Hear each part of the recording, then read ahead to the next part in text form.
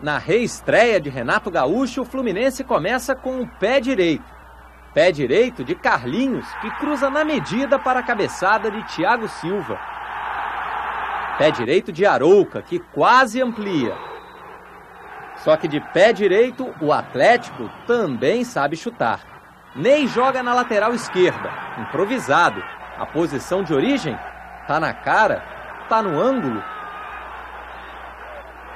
a direita é mais fácil? Com certeza. Mas a partir daí, quem faz tudo direito são os goleiros. Fernando Henrique de um lado, Guilherme do outro, como nesta tabela de Adriano Magrão e Alex Dias. E até o zagueiro Luiz Alberto fecha o gol, salvando o chute de Ferreira em cima da linha.